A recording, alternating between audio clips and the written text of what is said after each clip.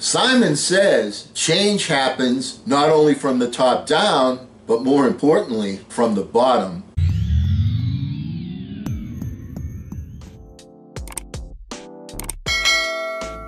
Hello again, everyone. I'm Eli's dad with Project Eli, where we educate, we lead, and mostly we inspire. Want to talk to you today, want to continue with our series uh, from Simon Sinek, things that he said, things that he's inspired in me. Uh, continuing my bromance, want to share that with you. And today we want to talk a little bit about change. So where does change happen? Does it happen from the top down or the other way around? Well, it happens both ways. And it's dependent upon the level of trust and faith that the people have in their leaders. There's truth to the phrase, power to the people. Ultimately, the people have the power. Though leaders may have authority, they may have title, power always belongs to the people. Now that's why in a dictatorship the people are kept away with big barriers. That's why they sanction themselves, these dictators sanction themselves with fake elections to show that they were chosen by the people. The people always have the power. And that's why bad leaders, that's why dictators keep the people divided. Because as long as the people are divided, they say to themselves, I get to keep my authority. I submit to you that we have seen this very phenomenon at the highest level of government, our government, in our most recent past. Divide and conquer. Doesn't always work though. Once again, power to the people. Good leadership seeks to unite, and bad leadership seeks to divide. What is the purpose of a dysfunctional divide and power, excuse me, divide and conquer agenda? To maintain power. We've seen that. Now, the most effective leaders cling to the mantra of servant leadership. That is, leaders are meant to serve their constituents and not to be served. Who are the constituents? They're the people that they're leading with their vision of achieving a worthy cause, a worthy outcome that fulfills a worthy and philosophically embraceable concept. In the workplace, this constituency is represented by the people that work at the entity, the company, and the patrons of the goods and or services that are being provided by the entity, the company, the organization. I want to give you an example of a place where I worked where the mentee-mentor relationship was established where I personally achieved tremendous growth because I came to believe what they believed with passion and loyalty. I worked with the company, I answered a blind ad to be a management trainee, to be the manager of my own office.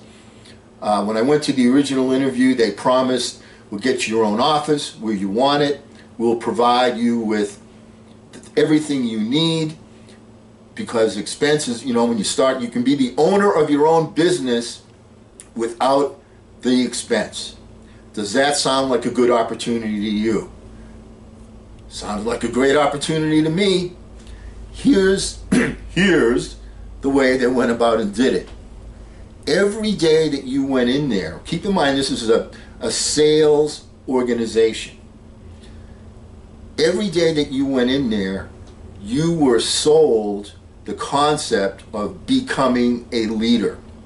You are here ultimately to become a leader. Now, if you're going to be a leader in a sales organization, guess what? You have to know how to sell yourself. Secondly, you have to know how to teach other people how to sell. Third, you have to be able to attract, train, and motivate these people. Every day that was sold to us. And the blueprint was put out there for us so that we could see how it was going to be done, why it was going to be done. Why? Because the company wanted to expand. Why did you want did you want to be part of that? Because you would make more money. So there was a marriage between the success of the company and your success as an individual. On top of that, the product that was marketed was also something that was going to help in this particular case the, the client whom we refer to as Joey Lunchbucket to help Joey Lunchbucket to save money for their retirement. So all of these things were put together so that it would inspire you to not only sell the product to help Joey Lunchbucket, but to help yourself, help the company, and establish your own office. And, the, and not only was it talked about, but it was also put into practice. When you first went in there, you were a trainee, you had to learn the presentation. And then once you learned the presentation, then you worked with other people below you that were learning the presentation. Then you went out in the field to sell. Once you went out in the, and when you went out to sell, before you went out by yourself, you always had somebody that was experienced so they could show you what they did, show you the things that you learned in practice in the training time, and how those applied in the real world when you were out there in front of a real client. Then, once you mastered that, then you became the teacher and took people out with you so that you could teach them. Then you learned how to train the people. Then you learned how to attract the people. So each step along the way, there was a blueprint. You do this, this, and this, you advance to this position. And we're going to show you how to do it. Then you advance, then you look to the next position, and before you get there, how you get there, we're going to show you how to do it. And each step along the way was the carrot. You know, you want to reach for the carrot. There it is. I can, I can see it. I can feel it. I can taste it. I can touch it. And somebody showing you how to get it done. Somebody watching to make sure that when you got the chance to perform whatever function was necessary, that you were doing it correctly. And people were there to cheer you on, and everybody was focused on becoming a leader. And we were constantly told that, you know, leadership is divided up, you know, just as success is divided up.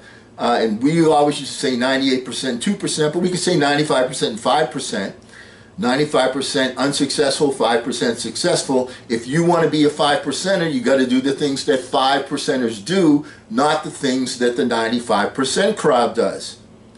So, when you're away from the workplace, which is a considerable amount of time, always remember that you're going to run into people that will have 95% thinking and it's easy to succumb to belong to that group when you're away from the five percenters, when you're away from us.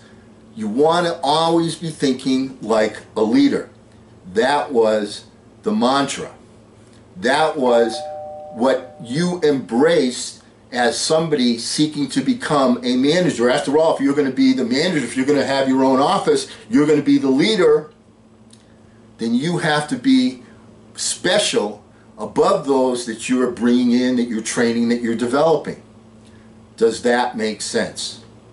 Once again, how do we get how did they get that done? Very simple. Always remember not to ration the passion, but to fashion the passion. Go step by step, marry personal development with personal accomplishment, and serving others. I'm Eli's dad.